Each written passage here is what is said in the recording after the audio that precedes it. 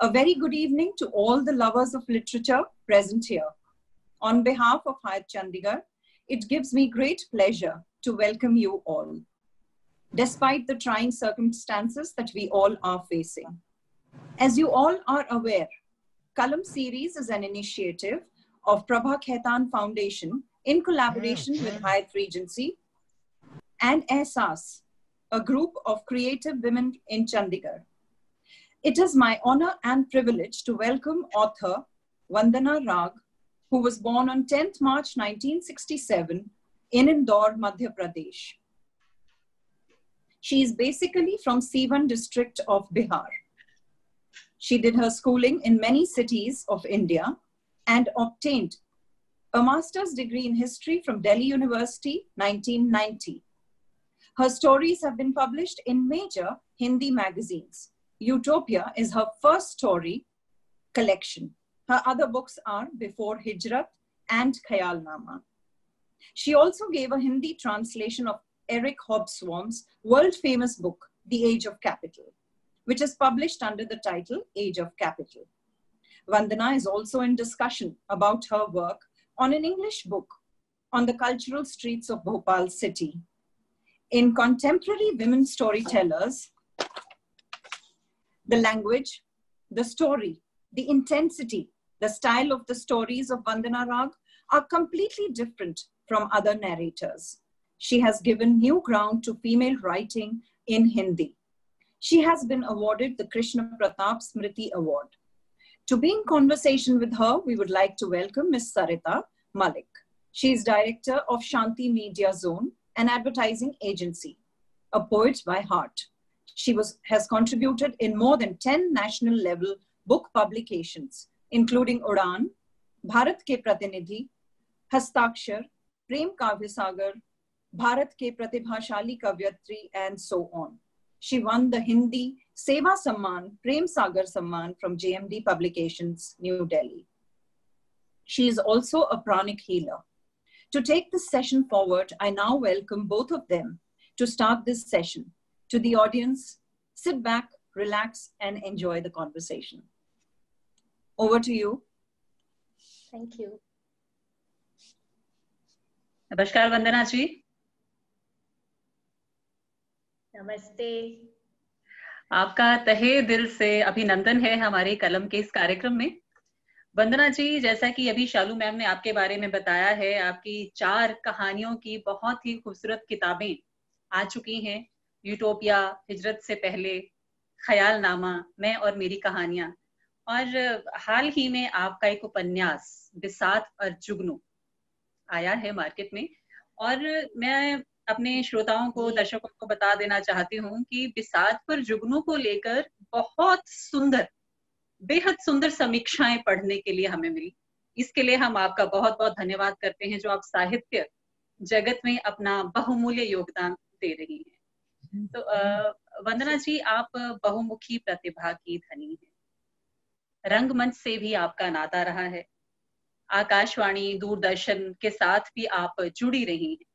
तो आपकी शख्सियत के बहुत सारे आयाम हैं। तो मैं जानना चाहूँगी कि आपको हमेशा से ही एक लेखक बनने की इच्छा रही या कुछ स्ट्रगल किया आपने लेखक बनने के लिए कोई कोशिश की या कहीं से आपको प्रेरणा मिली कि आपको लेखक ही बनना है? क्योंकि आपके अंदर की जो बेचैनी है जो आपका द्वंद है जो आपकी कहानियों में हम देखते हैं वो देखने के लिए मिलता है। तो क्या एक लेखक होना यही सही माध्यम था अपने आप को परिलक्षित करने का? आ, सरिता जी जैसे हमने अपनी अनौपचारिक बात में कहा था एक दूसरे से बात जब की थी तो वही बात मैं दोबारा दोहराना चाहती हूँ कि बेचैनी तो हम सब के मन में कहीं ना कहीं बहुत ज़्यादा रहती है। और जब मैं अपना फेसबुक स्टेटस फेसबुक प्रोफ़ाइल बना रही थी तो उसमें लिखा रहता है ना कि वाई डू यू राइट आप क्यों लिखते हैं? जी. तो मैंने लिखा था क्योंकि मुझे गुस्सा बहुत आता है। तो ये गुस्सा जो है ये अंदरूनी गुस्सा नहीं है एग्जिस्टेंशियल टाइप ऑफ़ क्राइसिस से उपजा गुस्सा नहीं है। मेरा गुस्सा पता नहीं क्यों मुझे हमेशा इनजस्टिस समाज की चीज़ों को देखकर बहुत गुस्सा आता था बचपन से और ये सही बात है कि शौकिया थिएटर भी किया और अपने पिता की पोस्टिंग में बम्बई में थी मेरे पिताजी की पोस्टिंग फादर की। तो वहाँ पर समहाउ मैं स्टूडेंट थी और मैं एक दिन I just walk into Akashvani और उन्होंने कहा कि अरे हमारे लिए कुछ कर दो। तो मैंने वो कर दिया। इसी तरह से मैं एक दिन दूरदर्शन चली गई तो उन्होंने कहा कि अच्छा कुछ करोगी एंकर क्योंकि उस समय मराठी वर्ल्ड ये नाइन्टीज की बात है और इतना सारा चैनल का बूम नहीं हुआ था। बट यू नो धीरे धीरे शुरू हो रहा था। तो वो भी मैंने वाक्या कर लिया। लेकिन उससे कुछ बात बनी नहीं। जो अंदर की बातें थी वो आ नहीं रही थी। और बचपन से लिटरेचर का बहुत शौक था। तो इसीलिए कहीं ना कहीं जब मैंने लिखा कि मैं बहुत I write because I am angry तो एक्चुअली जब मुझे बहुत गुस्सा आता है किसी भी बात पर तो मैं सोचती हूँ बेहतर है कि लिख के उसको कहीं रख दिया जाए। तो शुरुआती दौर में सरिता जी सारी चीज़ें जो मैं लिखती थी मैं अपनी अलमारी में बंद कर देती थी। कभी नहीं हम्म। उसको किसी के सामने दिखाया। फिर सिलसिला यूँ हुआ कि एक दिन एक हम्म। नहीं ऐसे ही मुझे लगता था कि they are not good enough और मैं क्यों? किसी के लिए तो नहीं लिख रही हूँ। बस गुस्सा आया किसी दृश्य को देखकर। धैर्य को अशांति को निकालने का एक माध्यम ढूंढ रही थी। ज़रिया था पहले तो ज़रिया था पर मुझे लिखना बहुत अच्छा लगता था। क्योंकि मुझे लगता था कि मैं अपनी बात बहुत मुकम्मल तरीके से जो अंदर और बाहर में फ़र्क नहीं लगता था लिखने से। मतलब जैसे होता है ना कि कई लोग लिखते कुछ और हैं और अंदर कुछ और होते हैं वैसा नहीं लगता था। हम्म। मुझे लगता था जैसा मैं बोलती हूँ जैसा मैं सोचती हूँ मैं वैसा ही लिख पा रही हूँ। तो वो बहुत ही एक एनकरेजमेंट का साधन मुझे मिल गया अपने आप को व्यक्त करने का। इसीलिए सब चीज़ पीछे छूटी फिर हम्म। शादी वादी भी हो गई। जी जी। हाँ सरिता जी फिर शादी हो गई। तो वो जो थिएटर और टेलीफिल्म दो तीन टेलीफिल्म में भी साइन की हुई थी वो सब छूटी। और सीधे फिर अपना शादी एक ब्यूरोक्रेट से हुई तो उसको शुरू में बहुत ही छोटे शहरों में रहना पड़ता था। तो वो एक अलग समस्या थी कि अरे साठ हज़ार की पॉपुलेशन में पड़ रहा है और कोई बात करने वाला नहीं। तो सब हम्म। समय था वो ज़िंदगी के शादी के बाद छह सात साल थे उनको मैंने पढ़ने में और उसके थोड़े दिन लिखने में किया। तो अपने मदर होने का सुख भी बहुत प्राप्त किया। तो मिला मिलाकर यही सब काम की तैयारी वही थी। और बाद में फिर 1999 में प्रॉपरली लिखना शुरू किया। जी, यानी कहा जा सकता है कि थिएटर रेडियो टीवी पत्रकारिता से होता हुआ लेखन तक का जो सफ़र था, वो कहीं ना कहीं आपके भीतर की बेचैनी को परिरक्षित करने के ये सब माध्यम बने। तो बहुत खूबसूरत विचार हैं आपके। वंदना जी, मैं जानना चाहूँगी कि लेखन के लिए जो कहानी विधा आपने चुनी है उसे चुनने की कोई हम्म। वजह थी या एक सहज स्फूर्त माध्यम था आपके विचारों की अभिव्यक्ति के लिए जैसे कहा जाता है कविता एक लघु इकाई है एक विचार आता है और त्वरित हम्म। कागज़ पर हम उसे उतार देते हैं लेकिन जो कहानी है वो बहुत विस्तार मांगती है धैर्य मांगती है आपको विचारों का जो एक तालमेल है वो पकड़ कर चलना पड़ता है और समय तो उसके लिए चाहिए ही चाहिए तो पारिवारिक जिम्मेदारियों के बीच हम्म। में एक कहानी के लिए लंबा समय निकालना आपके लिए आ, किस तरह से संभव हो पाता था? और कहानी ही क्यों? देखिए मुझे लगता है आप कह रही हैं कि एक विचार आता है और कविता बन जाती है और वो छोटी सी विधा होती है। ऐसा है नहीं। कविता सबसे मुश्किल विधा है और मुझे पसंद बहुत है क्योंकि मुझे लगता है कि एक गहरी बात को कविता बहुत कम शब्दों में व्यक्त कर देती बड़ी बात कह हाँ। हाँ बड़ी बात। कहानी में जैसे शुरू से मुझे कहानी कविता कहानी का पढ़ने का भी बहुत शौक था और मुझे लगता था कि जब तक मैं सारी बातें ना कह दूँ कविता एक सूक्ष्म सा सांकेतिक सा माध्यम हो सकता है। पर कहानी जैसे विस्तार आपने कहा कि विस्तार मांगती है तो मुझे लगता था कि ये लोकेशन भी खड़ा होना चाहिए ये बात भी होनी चाहिए डायलॉग भी होना चाहिए जैसे हम जीवन में होते हैं सब कुछ वैसा ही हो तो मुकम्मल ढंग से मैं अपनी बात कह पाऊँगी। इसीलिए ये एक स्वतः जो आपने कहा ना स्वतः स्फूर्त थी अपने आप हो गया। सबसे पहले मैंने एक कहानी ही लिखी छोटी सी कहानी थी और उसका नाम बहुत मज़ेदार सा था उसका नाम था झगड़ा। तो तो वो भी था कि एक दो मित्रों के साथ बैठी थी और कुछ ऐसे ऐसे ज़िक्र चलने लगे तो मैंने कहा क्या यार शादी के बाद सब झगड़ा ही करते हैं क्या? तो ये बात मन में आई फिर लेकिन वो खूबसूरती से बनती गई कि उस झगड़े में भी एक प्रेम निहित होता है। उसी बात को लेकर वो बहुत छोटी सी कहानी थी हंस में छपी थी मेरी पहली कहानी वही थी। नहीं ये सवाल आपने दोस्तों से पूछा कि शादी के बाद सब झगड़ा ही करते हैं क्या? आई थिंक ये इसका जवाब आपके पास भी होगा ज़रूर। नहीं मुझे लगता है झगड़ा तो सभी करते हैं। बिना झगड़े के तो कोई रिश्ते लंबे समय तक नहीं चल सकते। चाहे वो दोस्ती का हो चाहे वो शादी कोई भी रिश्ता कुछ भी रिश्ता कोई भी वंदना जी हमें जैसा कि पता चला है आपके पति भी कविता लिखते हैं। तो और आप कहानीकार हैं। तो एक दूसरे के लेखन की जो समालोचना है वो तो घर पर ही हो जाती होगी। आप सुनाते हैं एक दूसरे को अपनी रचना हाँ देखिए मेरे पति बहुत प्यारे इंसान हैं और बहुत भोले और भले इंसान हैं। तो वो जब सबसे पहले आ, कुछ भी लिखते हैं तो सबसे पहले मुझे ही सुनाते हैं। लेकिन मैं हूँ एक टिपिकल बदहवास मैंने अपना एक बाय द वे टैगलाइन भी नेम रखा है बदहवास बानो जिसके नाम से मैं फेसबुक पे कई सारी पोस्ट लिखती हूँ। हम्म। तो मैं जो है बदहवास सी रहती हूँ कहीं कुछ डाइनिंग टेबल पे लिखती हूँ कभी किचन में होते हुए लिखती हूँ कभी कुछ लिखती हूँ। तो मेरे हस्बैंड बहुत मेटिकुलस हैं वो एक सिटिंग में शांति से बैठते हैं और अपनी कविता की रचना करते हैं और सबसे पहले मुझे बुलाते हैं कहा हो तुम? जल्दी आओ। और मेरी कविता सुनो। आग्रह से, प्यार से, अधिकार से। और मैं जो हूँ, मैं सोचती हूँ कि ना ना this is not good enough क्या सुनाऊ अभी? कुछ नहीं। ज़्यादा से ज़्यादा आइडिया डिस्कस कर लेती हूँ। लेकिन, समालोचना जैसी चीज़ नहीं होती। और आपको ये जान के बहुत मज़ेदार लगेगा कि मेरा उपन्यास जब अभी शाया हुआ फेब्रवरी में तो मेरे हस्बैंड ने अब जाके उस उपन्यास को पढ़ा है। उन्होंने उसके बारे में कुछ थोड़ा बहुत आइडिया डिस्कस किया था मैंने उनसे लेकिन उनको पढ़ने की फुर्सत नहीं मिली थी। तो ऐसे ही चलता रहता है। वंदना जी आपकी कहानियों में जो स्त्री पात्र है वो बहुत मज़बूत है मनोबल वाला है और बहुत कर्मठ है।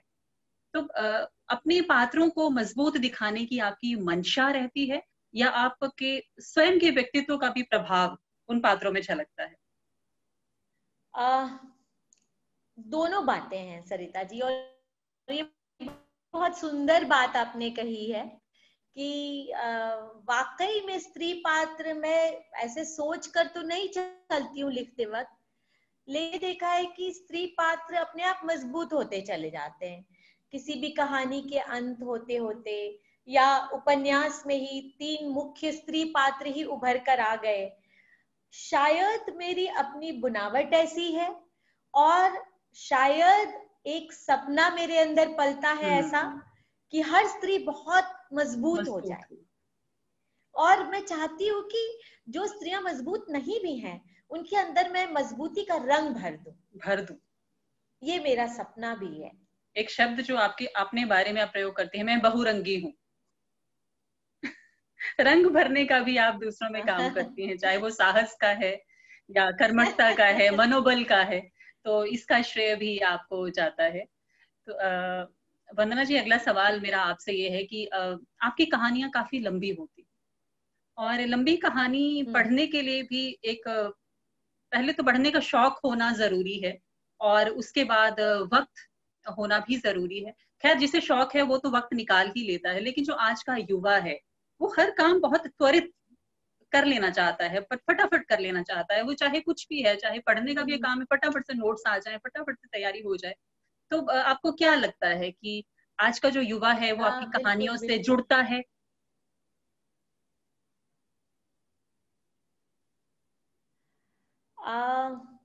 देखिए ज़्यादा एक जिस समय मैंने लिखना शुरू किया था शायद वो 90s और अर्ली 2000 90s तो नहीं 2000 की बात है। 2006, 7, 8 की सारी कहानियाँ आप उठाकर देखिए उस दौर की। तो आप देखेंगे कि ज़्यादातर एक ट्रेंड सा चल पड़ा था कि सब लोग लंबी कहानियाँ लिख रहे थे। मेरे हम्म। समकालीन जितने भी राइटर्स हुए सभी ने स्त्री हो पुरुष हो सभी ने एक लंबी कहानी लिखकर ही अपने आप को व्यक्त किया। लेकिन ऐसा नहीं है कि सारी कहानियाँ लंबी ही होती हैं। कुछ छोटी कहानियाँ भी हैं। अब वो संग्रह में से ढूंढ ढूंढ के पढ़नी पड़ सकती हैं शायद लोगों को। लेकिन है ऐसी कहानियाँ भी हैं। युवा वाली बात आपकी बहुत सटीक और सही है और इतनी वाजिब ये चिंता है सरिता जी हम सभी के लिए कि उसको पढ़ने का मन ही नहीं है। और वो क्या करता है कि जल्दी से जो इंस्टेंट ग्रेटिफिकेशन वाली बात है ना कि इंस्टेंट ग्रेटिफिकेशन हो हम भी बिल्कुल जैसे हमें अभी जैसे कॉफ़ी का हाँ तो वो बस चाहते हैं कि अगर हम फ़्लाइट में जा रहे हैं तो बस उतनी सी ही किताब पढ़ें बाकी हम छोड़ दें फेंक दें। रेलवे स्टेशन पे भी आप देखेंगे खरीदते ज़रूर हैं युवा बट पढ़ के फेंक देते हैं क्योंकि ये भी एक विडंबना ही है लेकिन इसके बावजूद मैं हमेशा हिम्मत नहीं हारती हूँ और मुझे लगता है और मेरे सारे समकालीनों को लगता है सरिता जी कि हमें जी. लिखते रहना चाहिए। आज नहीं तो पचास साल बाद भी कोई हमें पढ़ेगा। तो हमने। अपने वक्त की बात को दर्ज किया है ये तो समझेगा और ये बहुत ज़रूरी बात है। तो वो हिम्मत तो नहीं टूटती है और एक बहुत इंटरेस्टिंग डेवलपमेंट हुआ है। जब मैं अपना उपन्यास तैयार कर रही थी तो मेरा पब्लिशर से बहुत आना जाना था बातचीत हो रही थी। उस दरमियान मैंने देखा कि पब्लिशर बहुत नए राइटर्स बहुत पुराने राइटर्स बहुत सारे लोगों को छाप रहे हैं। जैसे राजकमल। मेरे पब्लिशर हैं तो हमेशा वहाँ एडिटर हैं सत्यानंद निरुपम जी। तो वो हमेशा मैं देखती थी एक एक एक्साइटिंग प्रोजेक्ट ला रहे हैं और बहुत एक्साइटेड रह रहे हैं। तो मैं कहती भी थी उनसे दो तीन बार मेरी बात हुई कि आप क्यों इतना या जो हमारे अशोक महेश्वरी जी आप लोग कैसे इतना एक्साइटेड होकर जब कोई पढ़ ही नहीं रहा है तो। कहते नहीं नहीं हमें तो अपना काम करना है तो ऐसा नहीं है। आप यकीन नहीं करेंगी पिछले दो साल में प्रॉपर मार्केटिंग टेक्निक्स ने हम्म। और प्रॉपर एडवर्टीजमेंट में पब्लिसिटी ने जी, जी, बदलाव लाया है कि अब हिंदी में लिखी हुई किताबें भी बिक रही हैं अभी एक हमारे मित्र हैं अशोक पांडे हम्म, उन्होंने आ। लिखा है आ, कश्मीर नामा कश्मीर के ऊपर किताबें हिंदी में है तो देखते हम्म। देखते उनकी हज़ारों कॉपीज बिक गई आपने रवीश जो जर्नलिस्ट हैं एनडीटीवी के साथ उनकी पच्चीस हज़ार कॉपी बिक गई। ठीक है? और एक अभी हमारे मित्र हैं चंदन पांडे उनका वैधानिक गल्प नाम का एक उपन्यास आया है। ऑलरेडी वो सेकेंड एडिशन में जबकि महीना भर हुआ है। और हमारी हम्म। मित्र हैं प्रत्यक्षा उनकी एक कथेतर किताब आई है ग्लोब के बाहर लड़की। और उस किताब की भी इतनी पब्लिसिटी होने लगी तो धीरे धीरे और शायद इसमें हम्म, थोड़ा हम्म। कोरोना काल का भी महत्व है कि जब कुछ नहीं है करने को हम्म, कितना आप टेलीविज़न देखेंगे कितना आप सिनेमा देखेंगे थोड़े देर बाद आपको लगता है कि चलो जो पुरानी किताबें हाँ उसी को डस्ट करके पढ़ लिया जाए। तो कहीं ना कहीं ये पिछले दो साल में ये तो अभी कोरोना काल की बात तो अभी हो रही है लेकिन दो साल में ये ट्रेंड आया है कि दोबारा अच्छी चीज़ों पर लोग ध्यान देने लगे हैं। ये बड़ी खुशी की बात है। और ट्रांसलेशन भी हो रहे हैं जी। तो ट्रांसलेशन ट्रांसलेशन भी एक बड़ी चीज़ होती है जिसकी वजह से जो युवा है वो अट्रैक्टेड होता है। और ये एक साइक्लिकल प्रोसेस है। मुझे लगता है हर देश ने ये देखा होगा। लेकिन अब सब कह रहे हैं किंडल पे ही पढ़ लेंगे पर पढ़ेंगे। पढ़ेंगे। तो ये एक अच्छी बात है। हाँ। यानी जो सोशल मीडिया है उसने भी साहित्य के प्रसार में एक महत्वपूर्ण भूमिका निभाई है ऐसा आप मानती हैं? और आपके जीवन में सोशल मीडिया कहाँ तक शामिल है? साहित्य को लेकर। सोशल हाँ सोशल मीडिया जो है वो आपको मतलब आपकी पर्सनालिटी को एक प्रोजेक्ट तो करता ही है। जैसे भी आप हैं आप फेक भी हो सकते तो आपकी फेक पर्सनालिटी ही प्रोजेक्टेड होती है। लेकिन साहित्य के लिए उसने एक डेमोक्रेटिक मंच दिया है। इससे पहले क्या होता था कि कुछ चंद लोग थे जिनके हाथों में पूरी वो बातें थी कि वो अगर फाइनल करते थे मतलब ये हमारे बुजुर्गवार थे और हैं। लेकिन ऐसा था कि सैंक्शन नहीं मिलेगा तो हम लेखक नहीं होते थे। ऐसे मैं अपने बारे में नहीं बोल रही हूँ बट ऐसा बहुत लोगों से सुना है मैंने। लेकिन सोशल मीडिया के आने के बाद हर आदमी लिख रहा है पढ़ रहा है कुछ नहीं तो अपने ओपिनियन को एक्सप्रेस कर रहा है। तो वो एक डेमोक्रेटिक मंच तो है ही और वो हेल्प भी करता है। हाँ बिल्कुल। और ये बड़ी बात है। और इस मामले में बहुत अच्छा है। लेकिन जो उसके सोशल मीडिया के जो पिटफॉल्स होते हैं जो खराबियाँ होती हैं वो भी शामिल है। ये हमारे ऊपर है? कि हम उसमें से क्या स्वीकार करते हैं और क्या हम छोड़ देते हैं। ये आपके ऊपर निर्भर करता है। जी। और देखिए फ़िल्टर तो हर जगह होता है। फ़िल्टर सरिता जी हर जगह होता है। सोशल मीडिया पे भी अब दस कविताएँ पढ़ती हैं तो उसमें से दो ही होंगी जो सबको अच्छी लगती हैं और दिल को छूती हैं। जी। आठों नहीं अच्छी होंगी। नहीं तो वहाँ भी एक ओपिनियन पोल तो बनते रहता है। जी, तो ये अच्छी बात है सोशल मीडिया की भी। जी वंदना जी आपकी कहानियों में जो भावों की जो अभिव्यक्ति है, वो अपने चरम पर होती है। तो पढ़ते समय ऐसा महसूस होता है, जैसे कि ये पात्र हमारे सामने अभी चलचित्र की भांति अपना कार्य कर रहे हैं, अपनी भूमिकाएँ निभा रहे हैं, और वो घटना अभी हमारे सम्मुख बीत रही है। और मैंने ये भी पाया कि आपकी कहानी पढ़ने के बाद, आप कहानी का जो अंत है, वो पाठक की अपनी समझ पर, उसकी सोच पर छोड़ देती हैं क्या ऐसा करने के पीछे भी आपकी कोई मंशा रहती है कि पाठक वर्ग स्वयं इसका फैसला ले निर्णय करे या फिर आपकी जो लेखनी है वो स्वयं ही उसी विचार पर आकर रुक जाती है? और साहित्य वही है जो समाज को सोचने के लिए कुछ दे। नहीं अब ये भी मैं मानती हूँ। हाँ तो ऐसा है कि मैंने कहा ना कि मैं बहुत डेमोक्रेटिक वैल्यूज़ को बहुत ज़्यादा तवज्जो देती हूँ। मतलब इसी वजह से शायद मैंने लिखना भी शुरू किया। तो मुझे लगता है कि जब हम लिख रहे होते हैं तो पाठक के साथ हम ऑलरेडी रिश्ता बना रहे होते हैं। मतलब हम सिर्फ़ जैसे वो जो मैं एक मेरा फ़ेज़ था कि मैं लिख के अलमारी में डालती थी वो फ़ेज़ तो नहीं है। और हम्म। शायद किसी लेखक के मन में नहीं जो सच्चा लेखक होता है वो अपनी स्टोरी लिखता ही इसलिए या कविता लिखता ही इसलिए है या नाटक लिखता ही इसलिए है कि वो एक सार्वजनिक मंच की चीज़ बने जी. तो आ, जब एक डेमोक्रेटिक प्रोसेस हम लिखने के समय ही शुरू करते जैसे ही हम पहला अक्षर लिखते हैं तो हम जानते हैं कि अपने लिए नहीं हम समाज के लिए लिख रहे हैं या अपने जैसे लोगों के लिए लिख रहे हैं या अपने जैसे जो लोग नहीं है जो पात्र हैं हम उनके लिए लिख रहे हैं मान लीजिए कोई पात्र है जो मेरे जैसा नहीं है पर उसकी कहानी मैं ज़रूर लिखती हूँ तो इसका मतलब ये नहीं हुआ कि मैं ही वो पात्र हो गई लेकिन मैं चूँकि वो जी. नहीं लिख पा रहा है या वो मुझसे शेयर कर रहा है तो तो मैं उसकी कहानी आगे लिखती हूँ तो मुझे लगता है कि जब हम ये एक मिली जुली प्रक्रिया है ये हमारा हम्म। रिश्ता पाठक के साथ हमारा हमारे समाज के साथ परिवार के साथ और अपने अपने अपने पूरी सत्ता प्रक्रिया के साथ अपने पूरे सूचना तंत्र के साथ बहुत सारे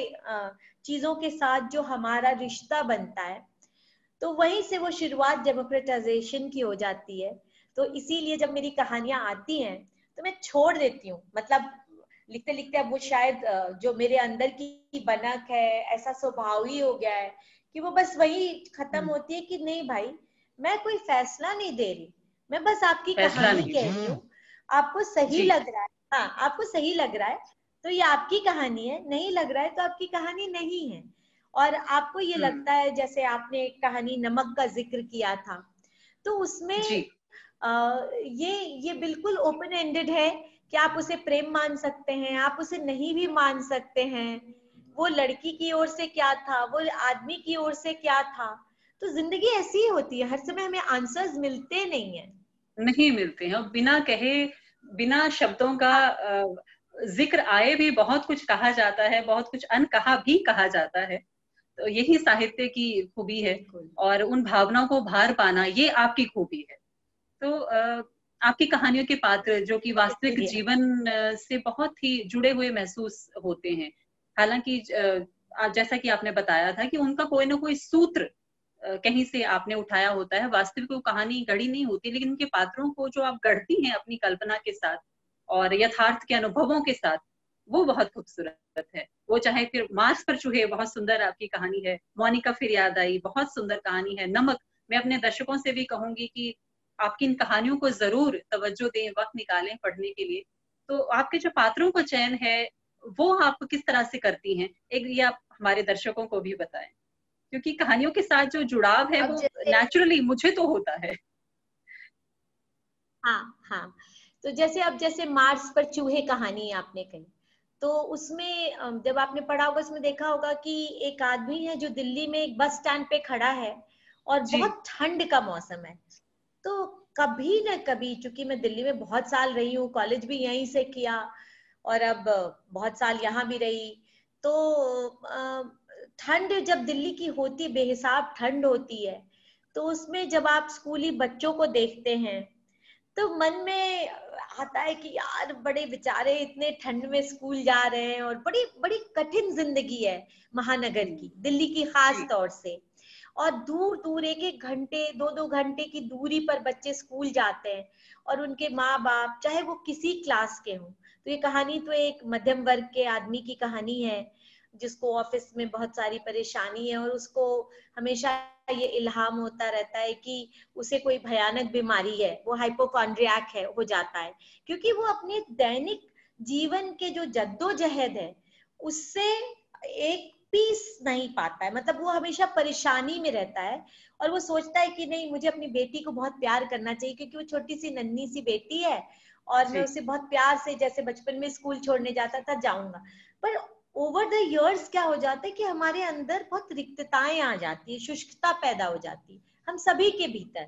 हम वो जो एक्साइटमेंट वाला जो वो रहता है वो ज़िंदगी की आ, कम होता बोलना चाहिए मशक हाँ जद्दोजहद वो देते हम्म। हैं। हाँ नहीं हम किसी को भी न रोमांस रहता है न बच्चों के प्रति जो ललक मतलब वो हमारा मोह है बच्चों के लिए इसलिए हम काम करते रहते हैं। पर वो जो ललक होती है जो शुरू की ललक होती है मैंने कई जगह कई फैमिलीज़ में देखा है वो खत्म हो जाती है एक दूरी सी बन जाती है। तो कैसे रिश्तों में दूरी बन जाती है? तो ऐसा कोई दृश्य मैंने शायद एक बच्चे को देखा होगा और उसके पिता को देखा होगा। दिल्ली की सर्दी में अपने बच्चे को स्कूल छोड़ते और वही देख के कहानी मन में और ये बहुत पहले देखा होगा कहानी लिखी अभी थी दो साल पहले। कि हम्म, मन में ये आता विचार पकता रहा। कि हाँ मतलब ये नहीं कभी भी कुछ आता है तो कभी एक फ्लैश आ जाता है कि यार उसकी भी तो एक कहानी होगी उसकी कहानी कैसी होगी? इस तरह से। नमक में जैसे हम बहुत किसी पार्टी में गए और हमने किसी ऐसे ऐसे आदमी को देखा जो अहम से भरा हुआ है। ही सच एन ईगोइटिस्ट कि उसको लगता है कि हम क्या करें? तो वो वो अपना सबको उसके लिए मोहब्बत भी बहुत छोटी सी चीज़ हो जाती है। हम्म। अहम ज़्यादा बड़ी चीज़ हो जाती है। और भोली भाली चीज़ों को भी वो एकदम अहम के पलड़े पे ही तोलता रहता है। तो ऐसे किरदार भी हमारी ज़िंदगी में आते हैं और हम उन्हें देखते हैं। इसी तरह से मोनिका फिर याद आई जो आपने बहुत वो कहानी बहुत दिल को तड़पाने वाली और दुख देने वाली कहानी है। खाप पंचायत की खबरें सुनकर। हाँ तो मुझे याद आया कि मैं जब कभी छोटी सी थी तो ऐसे ही एक लड़की थी जो शायद किसी लड़के से कॉलेज में वो पढ़ती थी और मैं छोटे से स्कूल में क्लास थ्री फोर में रही होंगी। तो मैं देखती थी वो इश्क करती थी। तो उस समय इतनी बातें तो समझ में नहीं आती थी लेकिन जब वो उस लड़के से मिलती थी उसके बाद घर लौटती थी और हम लोग कहीं बच्चे खेल रहे होते थे तो पार्कों में तो ये नज़ारा दिखता था और घर हम्म। आके उसको खूब डांट वांट पड़ती थी।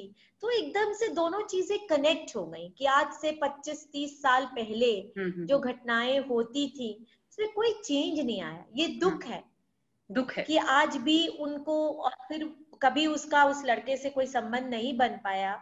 लड़के की कहीं अलग शादी हुई लड़की की कहीं अलग हुई होगी हमें कोई जानकारी भी नहीं उसके बारे में। फिर वो लगता है कि आज भी यार ट्वेंटी फ़र्स्ट सेंचुरी में भी खाप पंचायती सब चीज़ का फैसला करेंगी। मोहब्बत के लिए कोई स्पेस ही नहीं रहा। इतने सालों में हम लोग इतने आगे बढ़ गए। तो ये हम्म। चीज़ें दिमाग को और मथती हैं दिल को सालती हैं। लगता है ऐसा नहीं होना चाहिए। इसलिए वो कहानी लिखी गई। वंदना जी जीवन आप... से ही आते हैं सारे पात्र। जी जी। आप वंदना जी स्त्री कहानीकार हैं और बहुत सफल कहानीकार मैं आपको कहूँगी जिसने अपनी जगह बनाई है साहित्य समाज के अंदर। तो मैं आपसे ये जानना चाहूँगी कि स्त्री कहानीकार होने के नाते क्या चुनौतियाँ आपकी राह में आती हैं? और जैसे कि स्त्री की एक्सेप्टेंस को लेकर या अपने स्वतंत्र वर्चस्व को लेकर क्या कभी किसी तरह की कोई चुनौती का सामना आपको करना पड़ा हो या स्त्री लेखक को करना पड़ता है? आ, बहुत सारी चुनौती का सामना करना पड़ता है। साहित्य संसार कोई हमारे समाज से अलग नहीं है। वो एक अलग पेडेस्टल पे नहीं है।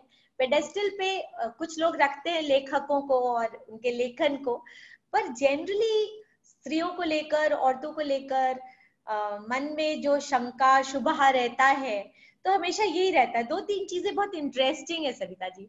जैसे कि अगर कोई ब्रिलियंट सी पत्रकार होगी या ब्रिलियंट सी राइटर होगी तो लोग उस पर डाउट ही करेंगे कि ये है इसने खुद भी लिखा है कि इसको किसी पुरुष ने हेल्प किया है। ठीक है? और ये चीज़ मैंने अक्सर देखा कि शुरू शुरू में जब मैं आई थी तो लोग सोचते थे कि अगर मैं कहीं अच्छे से बोल दू भाषण दे दूँ या कुछ अच्छा सा छोटा सा लिख दूँ तो लोग सोचते थे कि ज़रूर मेरे हस्बैंड का हाथ है उन चीज़ों को सुधारने में और वो करने में। तो उस समय दुख भी बहुत लगता था कि लोग हम्म। ऐसा सोचते हैं कि ये इनकी वजह से है साहित्य में। क्योंकि ऐसा कुछ था नहीं और वो तो कविताएँ लिखता है और बहुत उत्कृष्ट कलाकार है अपना कवि है और मैं तो वैसी हूँ नहीं तो मैं तो उसका कुछ भी नहीं सुधार सकती थी। उसके पास वक्त ही नहीं है कि वो मेरा कुछ सुधारे। और मैंने तो आपको अभी बताया कि बिसात पर जुगनू उन्होंने अभी पढ़ के खत्म किया। तो हम्म। छपने के तीन महीने बाद। तो हम्म। तो बात ऐसी नहीं है पर समहाउ मुझे लगता था प्लस स्त्रियों को लेकर एक आग्रह भी बहुत सारे लोगों के अंदर रहता है कि आए, हमारे साथ बातचीत करें और तब हम इनकी कहानी को, इनकी कविता को तवज्जो देंगे। मतलब थोड़ी वो जो हमारे महफिल में आके बैठे ऐसे करके। तो ये दोनों बातें मुझे बहुत नागवार गुजरती थी।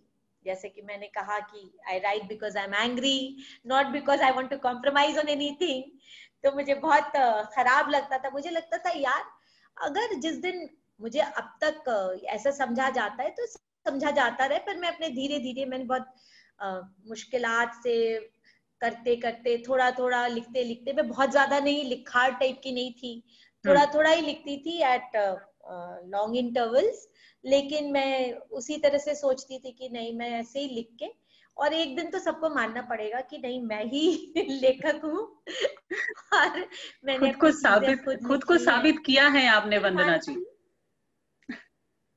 खुद को साबित किया है अपने लेखन के माध्यम मनवाया। मनवाया। यही मुखरता हाँ। आपके व्यक्तित्व की बहुत खूबसूरत है। जी वंदना जी आपकी कहानी में जो महिला महिला पात्र है वो बहुत मुखर है। मुखर है। वो अपने आप को एक्सप्रेस करती है। वो अपने आप को जताती है। शब्दों से नहीं तो चाहे वो आँखों से ही बोलेगी लेकिन वो बताएगी अपनी बात। तो आपने अपनी कहानियों में आज जैसा कि आपने बताया 25 से 30 साल पहले के समय का ज़िक्र भी आपकी कहानियों में है। उस समय के महिला पात्रों की क्या स्थिति थी वो भी है। और आज का जो सिनेरियो है वो भी आप देख रही हैं। तो इस अनवरत यात्रा में आपको क्या लगता है कि क्या आज भी महिला अपने आप को पूरी तरह से एक्सप्रेस कर पाती है?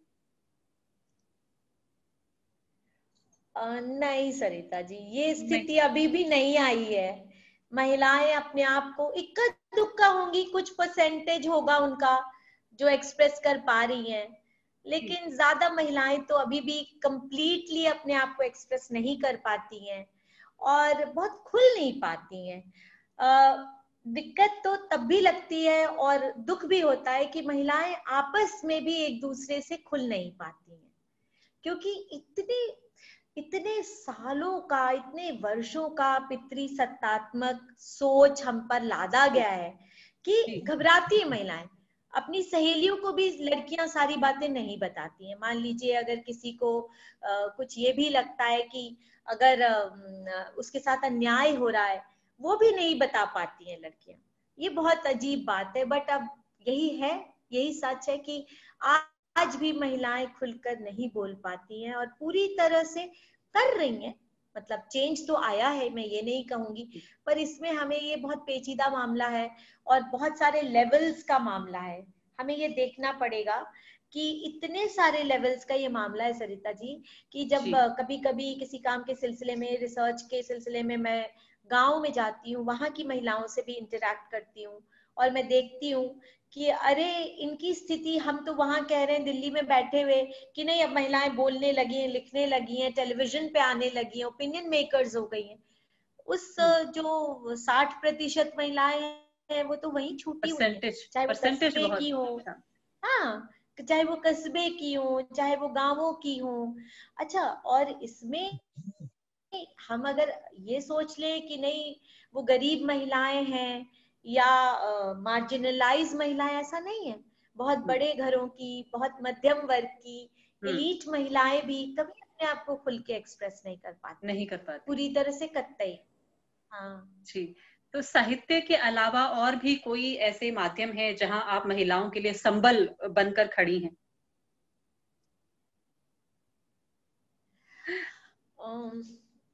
ऐसे तो नहीं पर मैं कोशिश तो वैसे तो अपने आप एक आइडियल है। की तरह। नहीं शुक्रिया पर ऐसा है नहीं। पर uh, मैं ऐसे सोचती हूँ कि मुझे बहुत काम करना भी बाकी है बहुत कुछ कर सकती हूँ मैं लेकिन थोड़ी आलसी किस्म की हूँ। जैसे कहा कि कहानियाँ भी बहुत धीरे धीरे लिखती हूँ। बहुत टाइम लगता है एक कहानी आती है फिर लोग कहते हैं अरे बहुत दिन हो गए तुम्हारी कहानी नहीं पढ़ी। हाँ तो वो है लेकिन ये ज़रूर है कि वंदना जी आपके साहित्य की ही सफलता है कि लोग आपकी कहानियों का इंतज़ार करते हैं। नहीं ये तो है लोगों का बहुत प्यार भी मिल, मुझे मिला है। ये भी मैं कहूँगी कि इतने सालों से लिखना बहुत सार्थक भी लगता है कि जब लोग कहते हैं जैसे एक बार एयरपोर्ट पे मुझे दिल्ली एयरपोर्ट पे एक लड़की आई यंग सी लड़की थी और वो आई और उसने कहा मैडम आयु वन्ना राग? तो मैंने कहा यस। तो उसने कहा can I have a picture with you मैंने कहा अरे भाई तुम मैं कुछ गलत फहमी हो रही है। तो बोली नहीं आप लेखक ही हो ना लेखक बनना राग। मैंने कहा हाँ मैडम मैंने आपकी कहानियाँ पढ़ी हैं। तो ये रेयर अकरेंस है। हिंदी साहित्य का कोई मिल जाए जो आपसे कहे तो वो अच्छा सा लगता है लगता है प्यार है। साइलेंटली कुछ लोग गलियों में कस्बों में मोहल्लों में पढ़ते भी होंगे। जिनकी जानकारी हम लोग को नहीं हो पाती ये अच्छा है। पर सरिता जी एक ड्रीम है कि मैं महिलाओं के लिए खास तौर से उन महिलाओं के लिए जो मार्जिनलाइज हैं जिन जो वॉइसलेस महिलाएँ हम्म। जो बोल नहीं पा रही हैं अपनी बातें उनको किसी तरह से उनके अंदर ट्रस्ट बिल्ड करके कॉन्फिडेंस बढ़ाकर उनकी बातें भी बाहर लाऊं। उनकी कहानियाँ भी सबके सामने पेश करूँ। ऐसी ऐसी ये एक मेरी इच्छा रहती है जब मौका मिलता है करती भी हूँ पर और करना चाहती हूँ। वंदना जी ये तो हमारी भी खुश नसीबी है आपसे इंटरेक्ट करने का हमें भी मौका मिला है। और अब बात करते हैं आपके नहीं आप लोग सबका बहुत बहुत धन्यवाद। नॉवल बिसात पर जुगनू। जी? जी इसके बारे में बहुत सुंदर समीक्षाएँ पढ़ने में आई हैं। इतिहास को भी आपने इसमें लेकर के आया है। इसमें बहुत सुंदर जो कि समीक्षकों की राय है बहुत सुंदर शिल्प का भी प्रयोग आपने किया है और इतना लंबा उपन्यास लिखना, तथ्यों को इस तरह से जोड़ कर रखना, मैंने इसका बहुत थोड़ा सांश पढ़ा है, लेकिन मैं बहुत प्रभावित हुई हूँ। तो मैं चाहूँगी कि हमारे श्रोताओं को आप अपने इस नॉवल के बारे में कुछ बातें स्वयं बताएँ। अच्छा। तो ये ये जो नॉवेल मैंने लिखा है, ये 1840 से 1910 1840 टू 1910 के बीच की पीरियड जो इंडिया में थी और जो चाइना में थी। दोनों के व्यापारिक संबंध क्या थे? ट्रेड रिलेशंस क्या थे? और दोनों उस वक्त अंग्रेज़ों के शासन काल में थे। तो एक तरह से दोनों ही देश बहुत एक्सप्लॉयटेड थे उस दौरान। हम्म। तो अंग्रेज़ों को हटाने के लिए हमारा पहला स्वतंत्रता संग्राम हुआ था जिसे अठारह का युद्ध हम लोग कहते 1857 का जो युद्ध हुआ था इंडिया में। वहाँ भी इस तरह के बहुत आंदोलन चल रहे थे अंग्रेज़ों के खिलाफ भी थे और उनके जो राजा थे चीन में मांचू राजा हुआ करते थे उस दौर में उनके खिलाफ भी लोग बहुत शोषित थे तो वो उनके खिलाफ भी आंदोलन कर रहे थे। हम्म। ये एक चांस की बात होती है कि इस देश में भी इस आंदोलन को लीड करने वाली एक हीरोइन जो मेरी हीरोइन है नॉवेल की उसका नाम है परगासो। वो एक लड़की होती है और वहाँ भी एक विद्रोह में जो शामिल एक लड़की है उसका नाम है यू यान। तो वो चाइनीज़ लड़की है और वो इंडियन है लेकिन कैसे दोनों का फिर एक साथ सब जुड़ जाते हैं? ये बहुत डाइवर्स चीज़ें हैं उपन्यास में। और लेकिन इसके बावजूद सब कहीं ना कहीं आकर जुड़ते किस तरह से? युद्ध से नहीं जुड़ते। वो जुड़ते हैं कला से। तो मैं ये बताना चाहती हूँ कि ह्यूमैनिटी कला और जिसे मोहब्बत कहते हैं वही सबको जोड़ कर रख सकती है। चाहे वो विश्व में आपस में लड़ाई हो रही हो भारत में हो रही हो चीन में हो रही हो कहीं हो रही हो। लेकिन ये एक हमारा इतिहास हमें बताता है कि हम अगर हम सोचे कि हमने जंग जीत ली है तो वो जीती हुई जंग नहीं होती है। हर राजा को जाना होता है।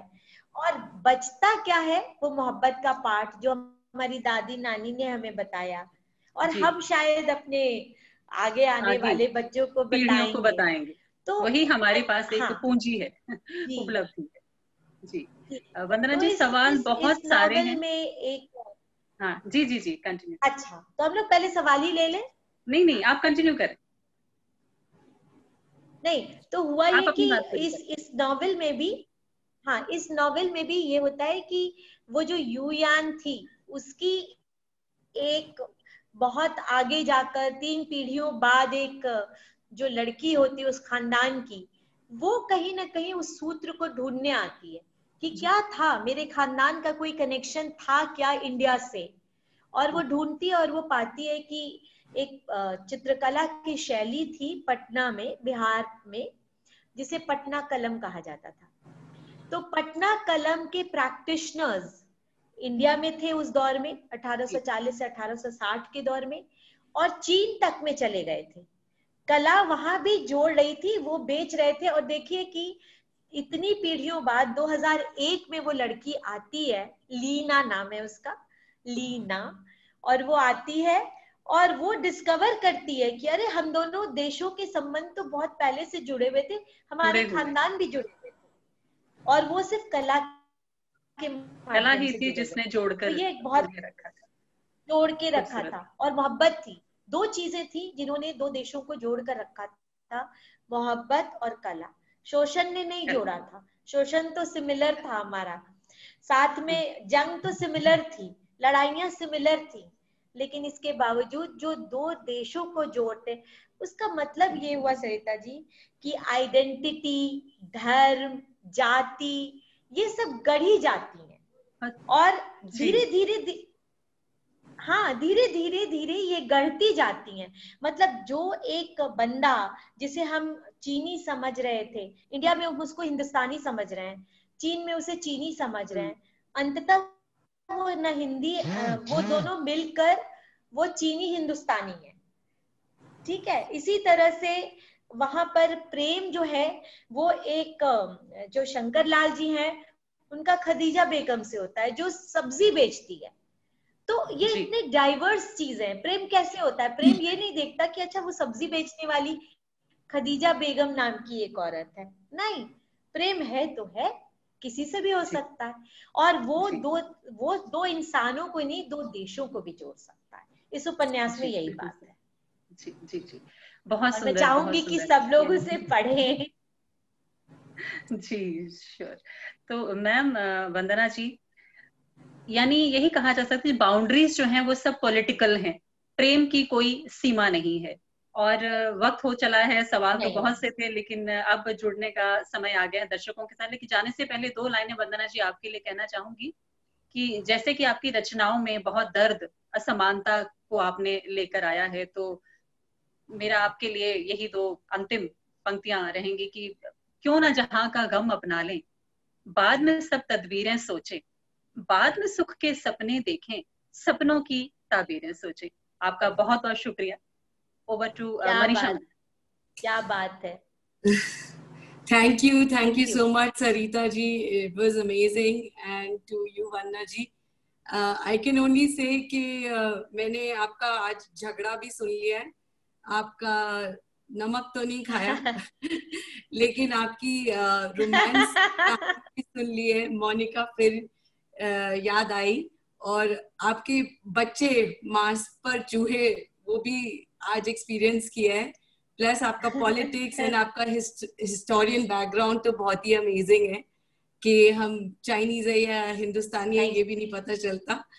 Uh, मैं चाहूँगी कि इस टाइम हम अपना क्यू एन ए खोल दें तो हमने I would like to request Akshita Marwaha to be online and unmute her speaker if she can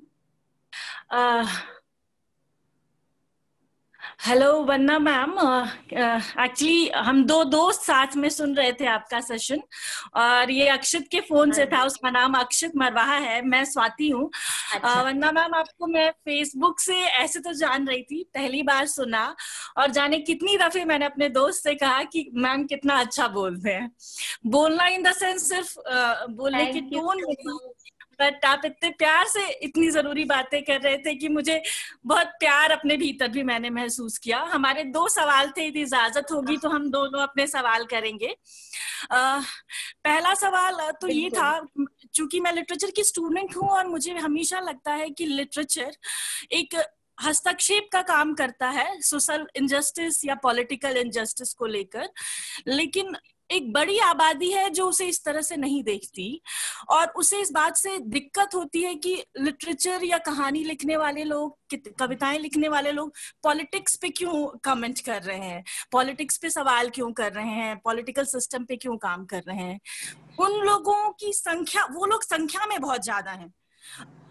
अमूमन जब हम सवाल करेंगे तो हमें एक टैग दे दिया जाएगा एक अलग अलग तरह का टैग जो कभी कभी आपको बहुत डिसअपॉइंट करता है। मतलब थोड़ा डराता भी है। तो उस डर से हम कैसे लड़े? और कैसे उन लोगों को भी बताएँ कि नहीं सवाल करना गलत होना नहीं होता? आ, ऐसा है। बहुत बहुत शुक्रिया सबसे पहले तो। और हम लोग इस तरह से मिल रहे हैं फेसबुक पे जुड़े हुए हैं लेकिन इस तरह से मिल रहे हैं और आपको मेरी बातें सुहाई अच्छी लगी उसके लिए भी बहुत शुक्रिया। आ, मेरा ये मानना है कि सवाल करना कभी छोड़ना नहीं चाहिए कभी भी नहीं। जिस दिन हम सवाल करना छोड़ देते हैं ना तो हम विकास के रास्ते में पहला पत्थर रख देते हैं। और उसको फिर हमारी आने वाली नस्लें कैसे हटाएँगी? हमें अपने हिस्से के पत्थर रोड ब्लॉक्स अवरोध खुद ही हटाने। ये अलग बात है कि आजकल खास तौर से फेसबुक का भी ऐसा कल्चर हो गया है या जनरली समाज में भी ऐसा कल्चर हो गया है कि सवाल करने को बहुत अच्छा नहीं माना जाता है। हम्म, और हम्म। आपको एक ब्रांडिंग आपकी कर दी जाती है कि नहीं नहीं आप आ, आ, मतलब एक फलाना ढंग के हो। पर बात ये नहीं है ब्रांडिंग कर दी जाती है सवाल करने वाले डर जाते हैं और कम संख्या में हो जाते हैं। लेकिन इसका मतलब ये तो नहीं कि हम सवाल करना बंद कर दें।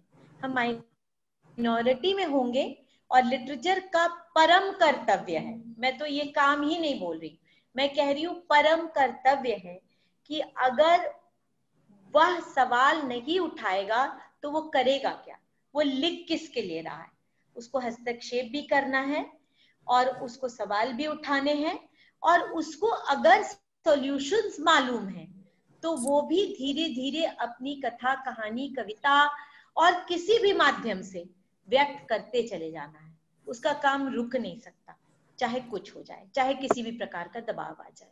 मैं इसमें यकीन कर thank you so much ma'am जैसा कि मैंने कहा कि uh, हम लोग दो दोस्त साथ में सुन रहे थे तो दूसरा सवाल दोस्त अक्षत का है वो सवाल करेंगे। हेलो मैम मेरा नाम अक्षित है। पहले तो मैं आपको कहना हाँ चाहता हूँ मैम आपकी बातें आज से आपने अपनी बातें रखी है हमारे सामने।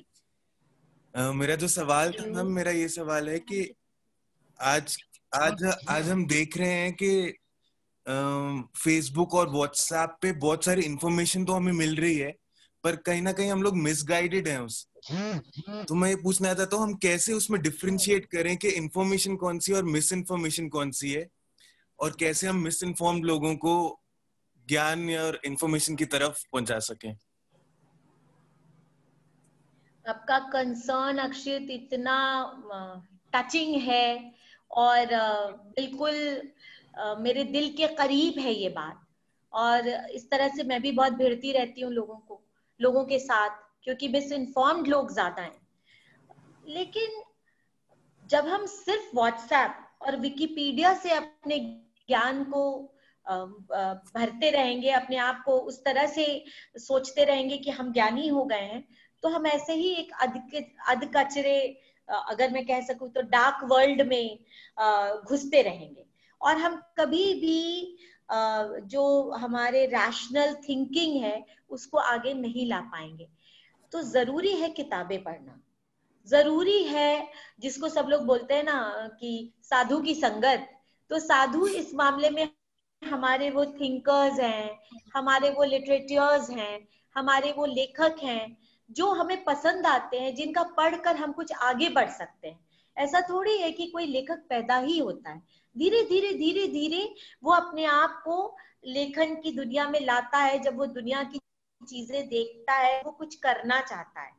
तो इसी तरह से, और जब वो अच्छा साहित्य पढ़ता है, जैसे कि मैं बहुत बचपन में ही चार्ल्स डिकिंस को पढ़ने लगी थी। और डिकिंस आप जानते होंगे, वो तब लिख रहे थे जब इंडस्ट्रियल रेवोल्यूशन इंग्लैंड में हुआ था और उस, उसकी वजह से बहुत मजदूरों की हालत बहुत खराब हो गई थी और बहुत गरीबी छा गई थी उस वक्त। तो वो मोहल्ले मोहल्ले जाकर गरीबों के बीच में रहते थे और वहाँ से अनुभव जनित मतलब अनुभव लाते थे और जाकर समाज में दोबारा बांटते थे। अपने लेखन को इस तरह प्रचारित करते थे अक्षित कि वो जाते थे, जैसे उन्होंने एक सिनेमा हॉल बुक कर लिया। वहाँ वो बैठ जाते थे और सारे लोगों को बुलाते थे। हज़ारों लोग आते थे और वो अपने नॉवेल का पार्ट या कहानी का पार्ट करते थे, क्योंकि वो उन्हीं के लिए कहानी लिख रहे थे और उन्हीं के बीच में ले जा रहे थे। तो ऐसे लोगों का इम्प्रेशन मुझ पर बहुत गहरा पड़ा। मुझे डिकिंस का बहुत गहरा प्रभाव मेरे ऊपर पड़ा और सब लोगों ने बचपन में प्रेमचंद को पढ़ा ही होगा और इस तरह धीरे धीरे धीरे धीरे जब आप बड़े होते जाते तो बहुत सारे राइटर्स को पढ़ते जाते ये बस ट्वेल्थ क्लास में जैसे ही हम लोग आते हैं ना तो हम करियरवादी हो जाते हैं और हम सोचते हैं कि अब हमको कुछ दूसरा चीज़ करना चाहिए हम लिटरेचर का साथ छोड़ देते हैं। जैसे ही हम लिटरेचर या इतिहास का साथ छोड़ देते हैं किताबें नहीं पढ़ने के हज़ार बहाने ढूंढ लेते हैं वैसे ही हम अपने ज्ञान के स्रोत को कम करते चले जाते हैं। फिर हमें वो प्रोफेसर्स अच्छे नहीं लगते जो हमें ज्ञान की बातें वगैरह बताते हैं। तो इस तरह हमको अगर इस चीज़ को कंटिन्यूड रखना है अपनी हम्म, लड़ाई को कंटिन्यूड हम्म। रखना है हमें व्हाट्सएप ज्ञान के तर्क और काट प्रस्तुत करने। तो हमें इतना ज़्यादा होंडअप होना होगा, इतना ज़्यादा पढ़ा लिखा होना चाहिए कि हम तुरंत उसका जवाब तैयार कर सके। अगर एक व्हाट्सएप फेक न्यूज़ ला रहा है तो हमारे पास इतना मज़बूत तर्क होना चाहिए, इतना मज़बूत ज्ञान होना चाहिए कि उसको हम धाराशाही कर पाए। ये इतनी जल्दी नहीं होगा, पर काम करना बंद नहीं करना है। यही बस मुझे कहना है। Thank you thank you so much Swati and Akshat हमारे युवा चंडीगढ़ से। आप का बहुत बहुत धन्यवाद। आपने बहुत ही इम्पोर्टेंट क्वेश्चन पूछा है। एंड uh, मैं अब uh, इसी ओकेजन पे सबको थैंक्स करना चाहूँगी। हमारे सारे व्यूअर्स चंडीगढ़ से all over India specially Ehsaas women of India जो कि आज uh, वन्ना जी हम आपको साधु मान लेते हैं। जिन्होंने हमें थोड़ी सी शिक्षा दे दी है। और हमें ये सिखा सकती है कि हमें और ओपन होना है एक दूसरे से सब कुछ बांटना है। एज फीमेल्स ये हमारा कर्तव्य बनता है कि हम हर जरूरतमंद चीज़ें जो हमें खुश रखती हैं अपने इमोशनल वे से हम आपस में बांटे। तो आपने हमें आज पूरा इनलाइटन किया है। एंड बहुत अच्छे टॉपिक्स छेड़े हैं आपने युवा हिंदी लिटरेचर कैसे पढ़े and F B and WhatsApp and इतनी अच्छी आपने टूल्स बताई हैं कि जहाँ पे आप रिवर्ट बैक कर सकते हो with all information and detailed and correct information so इसी बिहाफ पे मैं from city beautiful Chandigarh, Asas Women of Chandigarh, and also the uh, bureaucratic capital of Punjab would like to say thanks to you. And uh, with that, I hope that you come to see the historical capital of Punjab and you come to Amritsar also, and that you also are able to see the commercial capital of Punjab very soon, which is Ludhiana. Thanks so much, Sarita ma'am. Thank oh, sorry, you so Sarita much, and, and uh, thank you to thank you so much to all of you, Ehsaas women, and uh, everybody involved in this uh, wonderful, wonderful session. And uh, I would be very happy and feel I feel absolutely welcome and delighted presently to talk and interact with so many beautiful people in Chandigarh. Thank you so much.